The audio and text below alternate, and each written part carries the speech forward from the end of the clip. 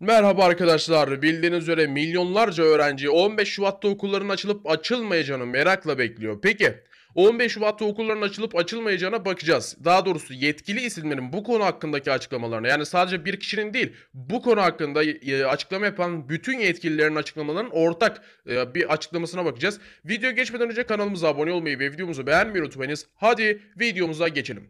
İlk önce bilim kurulu üyelerinden başlarsak. Bilim kurulu üyeleri 15 Şubat'ta okulları açmakta kararlı.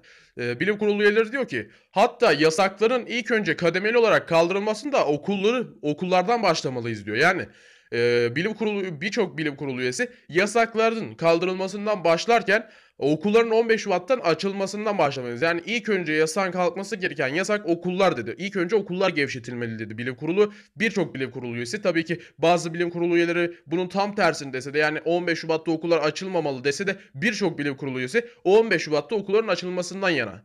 Baktığımızda tabii ki 15 Şubat'ta da küçük sınıfların açılmasından yana. Büyük sınıflardan bahsetmiyoruz. Ee, Ziya Selçuk'a baktığımızda Ziya Selçuk 15 Şubat'ta açmakta kararlı. Ancak tabii ki de şu anki vaka sayıları yüksek. Böyle giderse açılmaz ama 2000'lere 1000'lere düşerse 15 Şubat'a kadar açılabilir.